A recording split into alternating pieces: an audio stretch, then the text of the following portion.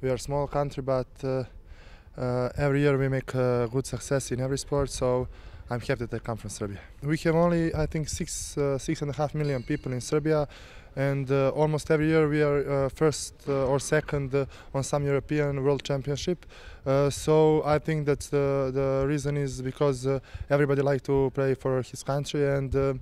Uh, for us, uh, playing for country means a lot. I think that uh, Serbian Poland people has the same uh, uh, way of thinking. Uh, uh, we express our emotions only uh, almost on the same same way. So I think that we are almost the same same. We are Slovenian people, so we speak almost the same language. We can understand us.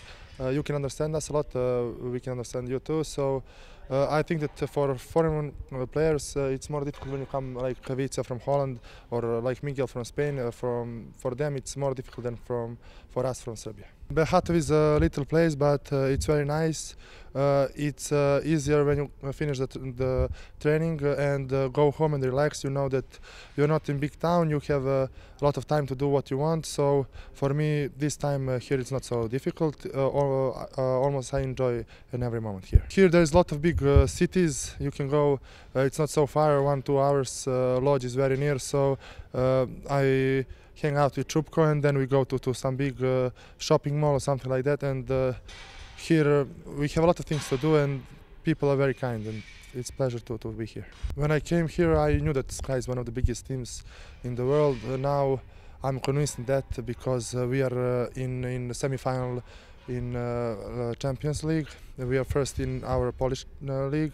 We won cup, so uh, I think that this year we have a lot of good players, and then that we can make a good result in Champions League. Maybe we can win, but now it's uh, early to talk about that. The first reason why I came here is uh, the, the practice, the training.